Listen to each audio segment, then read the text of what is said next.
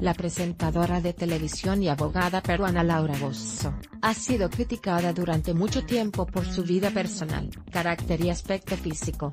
Sin embargo, tiene una gran cantidad de público que la apoya y se siente agradecido por las buenas acciones que ha realizado.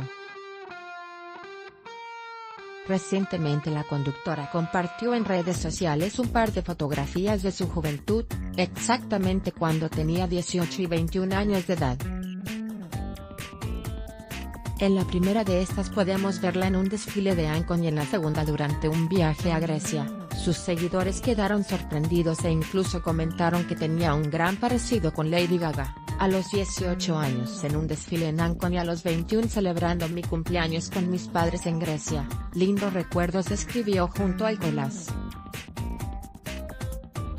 Algunos de los comentarios más relevantes fueron, Laurita se te extraña en la televisión, amo tus programas. Todas las mañanas en mi trabajo me ponía a ver dos horas de tu programa. Besos y saludos desde El Paso, Texas. Ya quisiera yo tener las piernas así parejas y gorditas. Muy guapa y un cuerpo excelente. Todo al natural que es lo mejor. Te pareces mucho a Lady Gaga y otros muchos más. La instantánea ha logrado obtener más de 11.000 likes.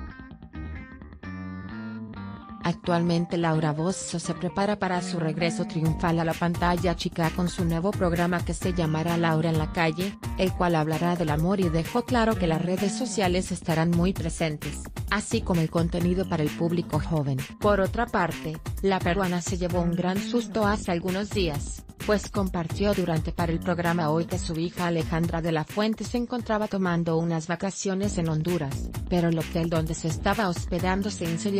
Cuando supo de la noticia sobre el peligro en el que se encontraba su hija entró en pánico pues no sabía nada de ella, fue terrible de verdad, fue terrible porque mi hija estaba adentro o sea justamente estaba adentro cuando se produjo una explosión y entró todo en llamas.